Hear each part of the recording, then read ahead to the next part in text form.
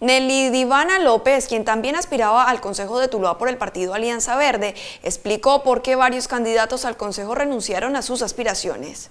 Realmente fueron varios los ex precandidatos al Consejo que renunciaron porque no fueron tenidos en cuenta, ¿sí? porque llevaban tiempo ya dentro del partido, haciendo, eh, realmente conformando un equipo de trabajo, haciendo un trabajo, haciendo un proceso y desafortunadamente no fueron tenidos en cuenta.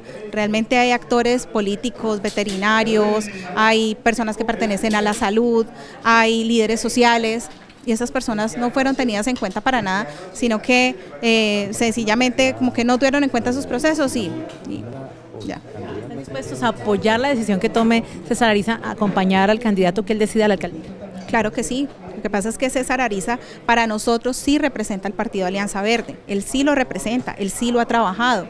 Él sí ha sido como esa persona, ese actor que todo tú lo ha visto, que nosotros sentimos como nuestro líder, porque realmente ha trabajado, porque ha trabajado por el bien común, porque ha trabajado por, por eh, los niños, porque ha trabajado por la educación, por el medio ambiente, cosa que al otro candidato desafortunadamente no lo hemos visto hacer. ¿Esperan unirse entonces, como dice César, a una nueva propuesta junto con Sergio Fajardo? Claro que sí. Eh, en este momento el ingeniero está estudiando todos los programas de gobierno y pues esperamos poder tomar la decisión, si Dios quiere, para el día martes y pues los invitamos a todos a que estén pendientes.